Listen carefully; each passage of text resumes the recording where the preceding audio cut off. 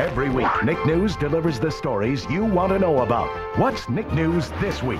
After years of war, people in Bosnia are finally talking about peace. I'm Linda Ellerbee. This week on Nick News, meet a kid who's using a bomb to end the fighting. Plus, the driving beat of the Batoto Yetu dancers. This and more on this week's edition of Nick News. Watch Nick News tonight at 8, 7 Central on the only network for you, Nickelodeon.